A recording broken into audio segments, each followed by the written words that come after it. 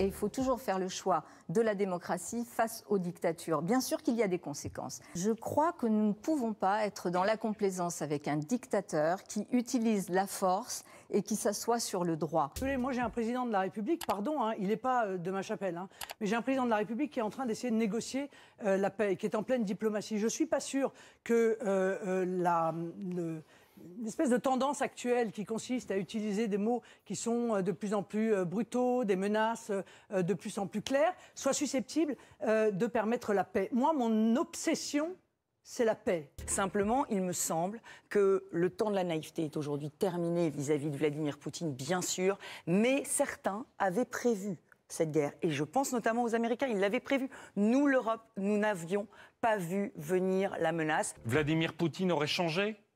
Mais regardons son histoire, regardons 20 ans de massacres, regardons 20 ans de crimes de guerre. Il n'a pas changé, Vladimir Poutine. Il a toujours été un dictateur. Il a toujours considéré qu'à partir du moment où dans son pays, les gens se battaient pour la liberté, il allait leur promettre la mort. Et quand les pays se battaient pour la démocratie, il allait leur promettre la guerre. Et je dirais que de là où je suis, le plus important, c'est pas que je le qualifie, si vous m'autorisez ça.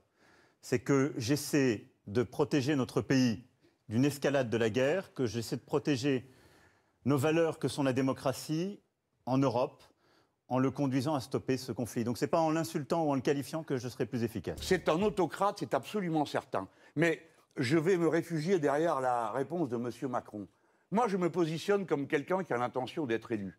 Je pense que, comme lui, j'arrangerai pas mes affaires. Si pour vous faire plaisir et arranger mes affaires, je disais oui, c'est un dictateur abominable, un fou sanguinaire, etc. Ça vous ferait peut-être plaisir à une dizaine de personnes, mais ça rend la gestion de la France complètement impossible et ça nous met en danger. Je vous répondrai exactement comme Emmanuel Macron, comme Jean-Luc Mélenchon, euh, parce que je pense que c'est la bonne réponse. Euh, je suis amené à devenir président de la République et donc je ne vais pas, pour vous faire plaisir, pour faire plaisir à certains téléspectateurs, dire insulter Vladimir Poutine. Je ne vais pas le qualifier, car après, euh, il faut discuter avec lui comme avec tout chef d'État. Vous savez, sur la planète, il y a à peu près la moitié qui ne sont pas des démocraties. Aujourd'hui, il y a un agresseur, il y a un coupable, c'est Poutine, et c'est contre lui, sur lui, qu'il faut exercer les pressions les plus fortes. encore un texte sorti l'enfer comme si je m'appelais Belzébuth Mec c'est sûr, je les baisse dur, tes freestylers, je les éduque Chacune de mes punch, je vous défigure, j'ai capté le truc, je vais viser le but Tête de rappeur dans le réticule, je les destitue, j'ai le ce qui tue